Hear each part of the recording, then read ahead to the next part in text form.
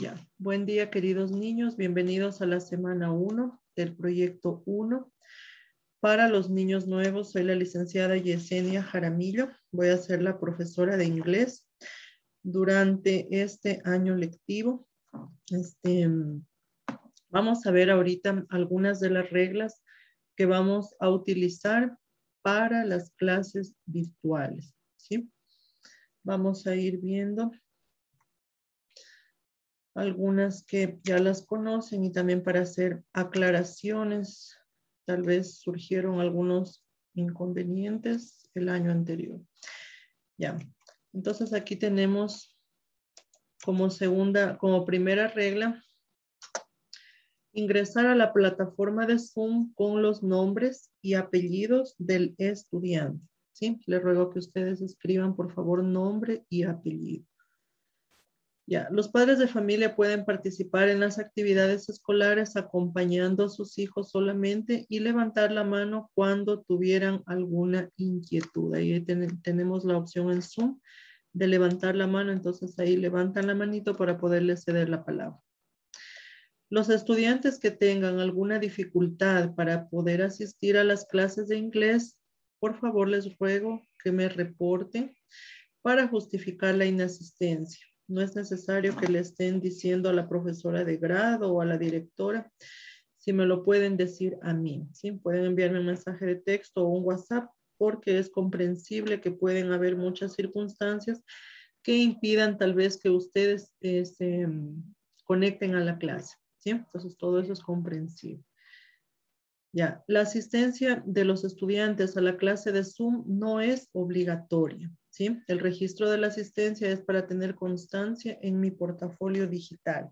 Si se conectan o no, no hay mm, variación en la nota final, ¿sí? Lo que yo califico es el contenido del portafolio, que esté bien hecho, bien presentado, ¿sí?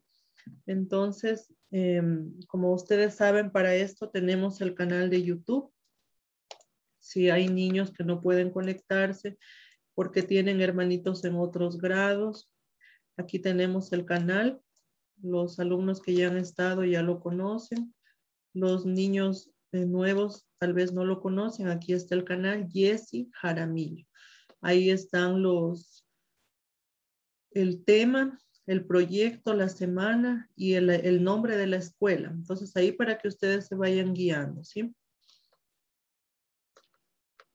Entonces, si en caso que ustedes no pudieron conectarse, aquí tienen que revisar para que puedan este, mm, revisar la clase. Va a estar ahí la explicación de la tarea.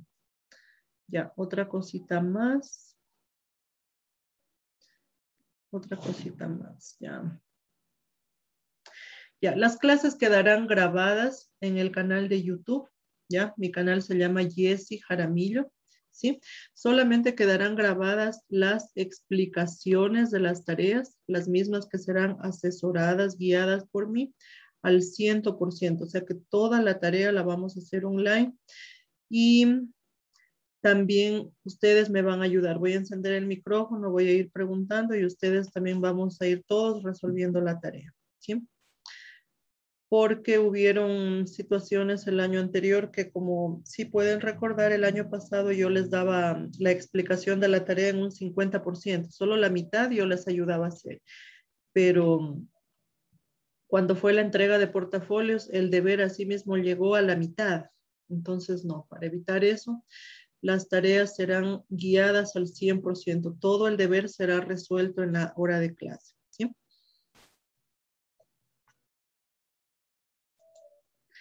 Ya, el canal de YouTube no me permite eh, subir la grabación completa de los videos, ¿sí? Esto se debe a los derechos de autor. Por eso ustedes cuando revisen el canal de YouTube van a ver que la clase ha de ser de 40, 45 minutos, de una hora, pero el video tal vez sea de 20, sea de 25, sea de 30 minutos, ¿sí? Ah, ustedes yo les hago ver los videos de inglés, entonces por los derechos de autor YouTube no me permite que subamos toda la clase completa. ¿sí? Entonces solamente irá la parte pertinente, la parte de la explicación de la tarea. Ya, Eh, les pido que traten de encender el micrófono solamente cuando la docente requiera su participación. ¿sí? Eviten interrumpir la clase. Vamos a emplear un vocabulario respetuoso con todas las personas que se encuentren en la sala, compañeritos de aula y con la docente. ¿Ya? Si desean ir al baño, por favor pidan permiso, porque hay veces que coincide que estoy tomando la lista y nadie contesta. Entonces me dicen es que me fui al baño. Entonces háganlo saber para tenerles en cuenta para la asistencia. Acá también deben estar bien presentaditos, no necesariamente con el uniforme. ¿Ya? En la medida de lo posible deben activar la cámara para verificar su asistencia y participación. ¿Sí? Ah, entonces en esta partecita. Esto lo hago porque a veces ya estoy tomando la lista y hay niños que todavía tienen la cámara apagada y por ejemplo dice Samsung S21 y no, aparte que está apagada, entonces no sé qué niño está detrás de esa cámara, ¿sí? Entonces por eso les pido que pongan el nombre y al menos en el momento que tomo lista enciendan la cámara, por favor. ¿Ya? Eh, de ahora en adelante, las clases de Zoom quedarán en modo sala abierta. O sea que el niño que se conecte inmediatamente ingresa a la clase de Zoom. Ya no, ya no está la opción de sala de espera que yo acepto los participantes. Ahora está en modo sala abierta. Esto es con la finalidad de evitar inconvenientes que están en el grupo de WhatsApp. Listen, acépteme, listen, acépteme. Y yo no los veo en el, o no los veía en sala de espera, pero ustedes me ponían que los acepte. Entonces eso ahora ya no hay. Este, porque la sala es libre, ¿sí? Pueden ingresar sin ningún inconveniente. Ya, la sala virtual en, en la medida de lo posible siempre estará silenciada, ¿sí? Yo desactivaré los micrófonos. Esto es para evitar distracciones y ruidos externos. Entonces, si ustedes desean expresar alguna opinión, aplican la opción levantar la mano. ¿Ya? Otra cosita, no se permitirá por ningún motivo el irrespeto, gestos obscenos, apodos que pueden ser emitidos de forma verbal o escrita en el chat para alguno de los miembros asistentes a la clase virtual o que estén escuchando música o que estén en los videojuegos, porque todo eso se escucha y, e interrumpe la clase. ¿ya? Esto será motivo inmediato para notificar al padre de familia, al docente tutor y a la líder educativa de la institución. ¿ya? Eh, la flexibilidad de tareas. No se sientan obligados que, digamos, hoy tenemos la clase el viernes y que ya hasta las 3 de la tarde el deber. No. Ustedes tienen la libertad para entregar el deber durante el transcurso de la semana, ¿sí? El año pasado el Ministerio de Educación había dispuesto que hasta el final del quimestre los niños podían entregar el deber, pero por ese motivo surgieron muchos inconvenientes porque se confiaron que como tenían que entregar a final del quimestre, dejaron todo para el último, ¿sí? Entonces, para que no se acumulen, no se estresen con el tiempo, entonces les pido, por favor, que ustedes vayan trabajando, si es posible, de semana a semana para que los niños no se acumulen, ¿sí? Eh, notificaré por escrito a los padres de familia que no envíen ninguna evidencia del desenvolvimiento académico. Si bien es cierto que la flexibilidad para la entrega de tareas, pero a veces hay papitos que no envían ningún deber. Hay papitos muy cumplidos que terminan la clase, después de una hora ya me están llegando las fotografías. En cambio de otros niños no se sabe nada, entonces a estos papitos les enviaré la notificación por escrito, que es un oficio. ¿Sí? Esto será por incumplimiento de tareas. Ya, no olviden niños en el deber, por favor, escribir el nombre y el apellido del estudiante. ¿Sí? Nombre y apellido del estudiante. A ver, aquí está la hojita de ustedes. No olviden aquí, student's name, nombre y apellido del estudiante. Aquí en el grado, En el grado ya saben que deben encerrar en un círculo el grado que a ustedes les corresponde. Si el niño es de sexto, sexto año.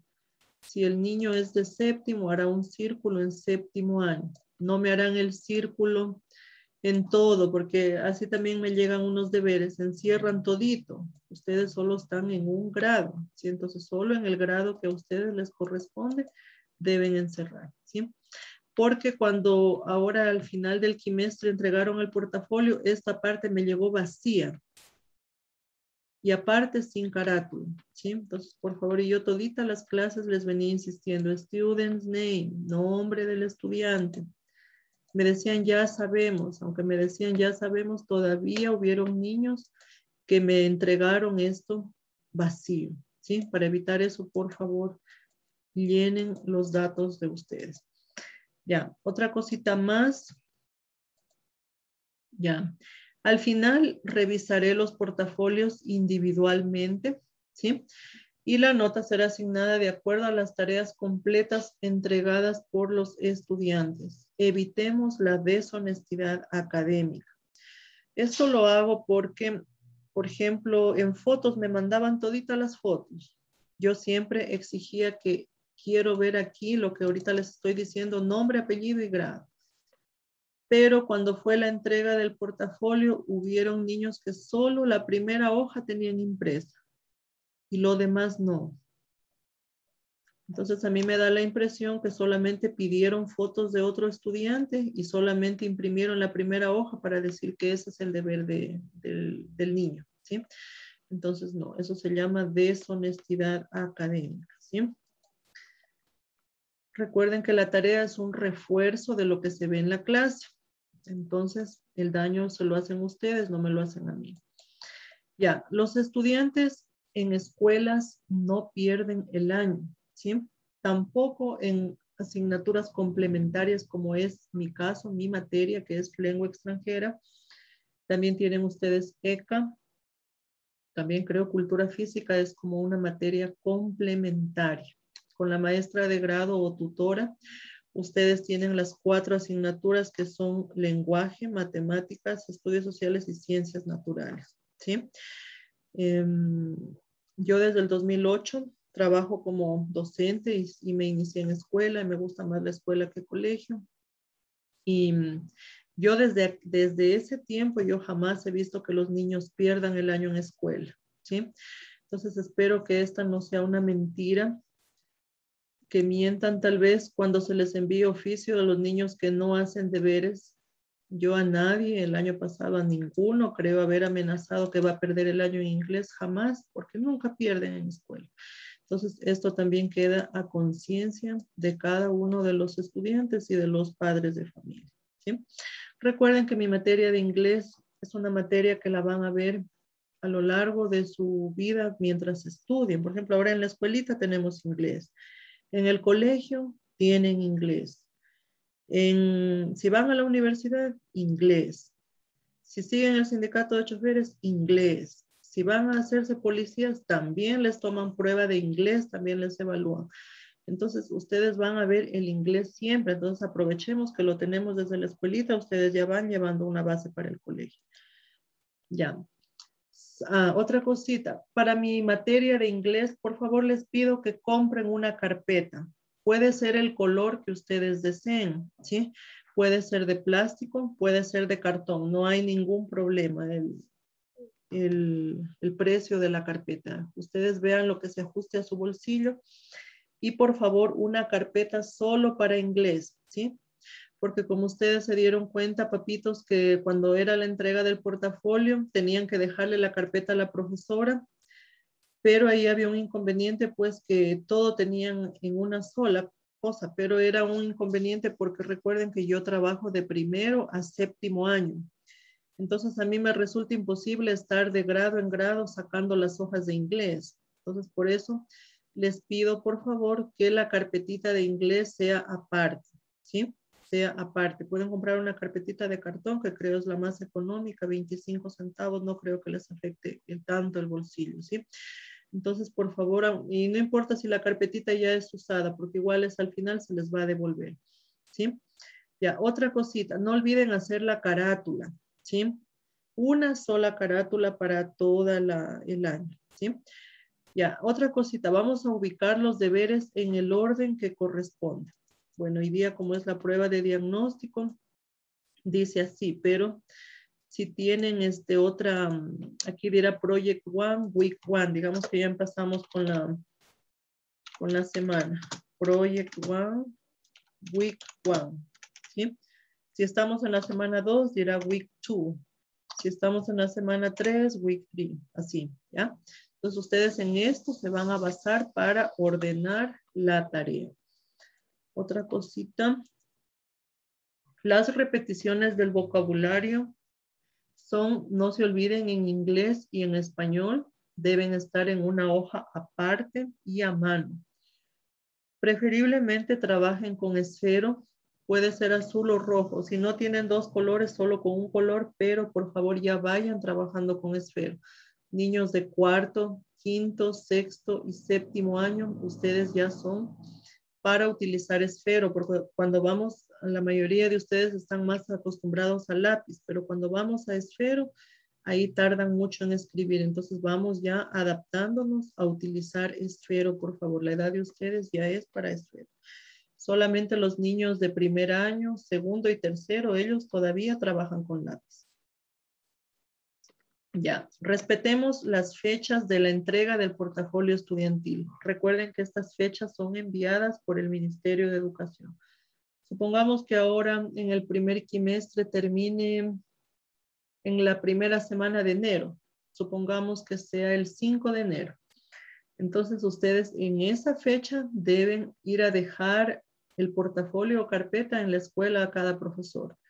Entonces, por favor, respetemos esta fecha que no me digan el 10 de enero le entrego profesor el portafolio o el 20 de enero le entrego es que yo trabajo y no, no paso en Zamora. Cosas así. Miren que cada semana eh, les he venido diciendo que por favor colaboren, que ayuden, que hagan las tareas, que procuren hacerlas cada semana para que al final no hayan, no surjan este tipo de inconvenientes, ¿sí? Otra cosa, no es obligatorio imprimir a color las hojas del deber de inglés. Esto pueden hacerlo de acuerdo a su economía, porque ustedes saben que imprimir a color cuesta más. Si su economía no les alcanza para imprimir a color, no, no hay problema. Pueden imprimir a blanco y negro. Las hojitas como son eh, descargadas del internet están así, pero ustedes pueden imprimir en blanco y negro. Eso no les afecta en nada la nota, ¿sí? Y, eh, a blanco y negro es más económico. Ahí va de acuerdo al bolsillo de cada padre de familia. Ya, la sesión de Zoom durará este, hasta aproximadamente una hora, ¿sí?